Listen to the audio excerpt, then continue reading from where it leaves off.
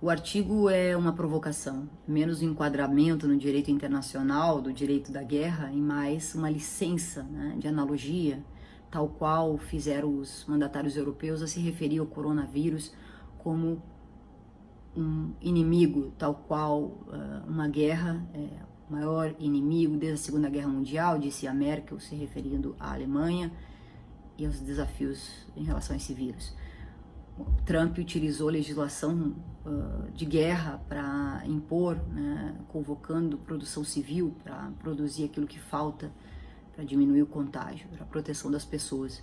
Aqui no Brasil, nós temos um governo que minimiza os efeitos do coronavírus e a gravidade da pandemia, que assim é considerada é, no mundo todo, enfim, um, aquilo que vai desestabilizar o planeta. Né?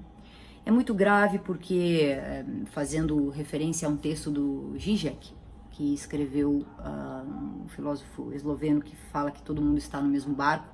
No Brasil, o barco aqui é dividido em, em classes sociais e nos porões desse barco estão os mais vulneráveis que uh, foram contagiados por aqueles que vieram de avião, mas que agora serão as principais vítimas, até pelas suas condições de vida é, que evitam um cumprimento de quarentena adequado, conforme tem sido recomendado. Como vão ficar sem trabalhar aqueles que precisam, como vão é, manter-se isolados aqueles que vivem em casas pequenas, em famílias inteiras, em 30, 40 metros quadrados, quando não menos que isso. Então, vivemos uma situação é, humanitária e a responsabilidade do chefe de Estado é equivalente.